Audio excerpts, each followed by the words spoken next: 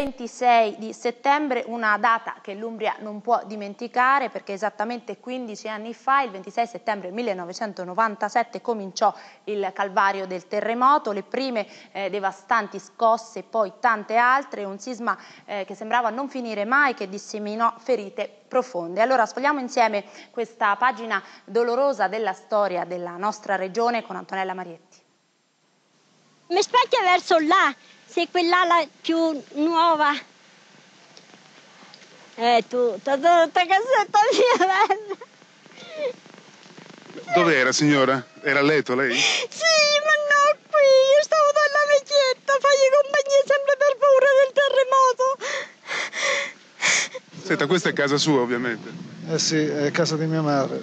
Lei era qui? No, a Foligno.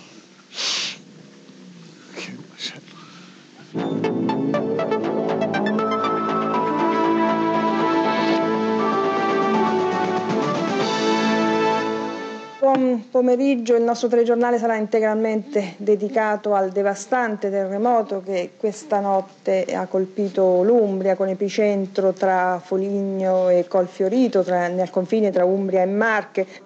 26 settembre 1997 l'Umbria inizia a tremare di notte alle 2.33 e continuerà a farlo per quasi un anno intero, magnitudo 5.8 con epicentro a Cesi.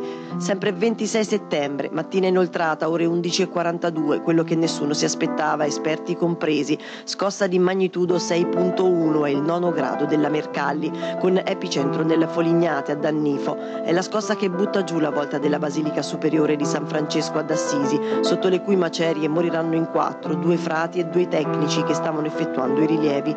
Questa è e rimane l'immagine simbolo di una tragedia ben più ampia e complessa.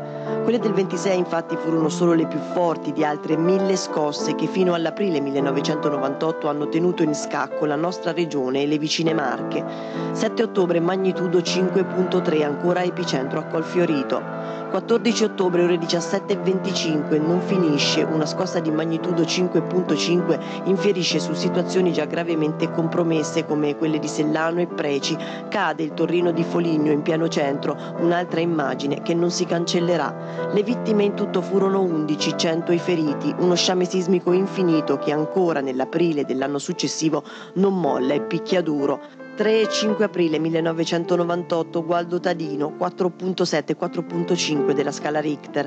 La gente ha esaurito la disperazione e le lacrime gelate da un inverno che in queste zone non si smentì, arrivò puntuale col suo carico di neve e di ghiaccio a rendere difficile, estrema una situazione, una vita che stentava a ritrovare la normalità nei 4.000 container installati. I numeri della protezione civile che seguì tutte le fasi dell'emergenza parlano di 76 comuni coinvolti, 33.000 edifici danneggiati danneggiati 22.604 persone, oltre 9.200 famiglie costrette a lasciare le proprie case. Una macchina dei soccorsi che dimostrò di funzionare bene e che ha fatto scuola. Tra vigili del fuoco, forze dell'ordine, esercito e volontari si toccarono anche le 10.000 persone messe in campo, ma a fare scuola fu anche la fase più delicata del dopo emergenza, la ricostruzione.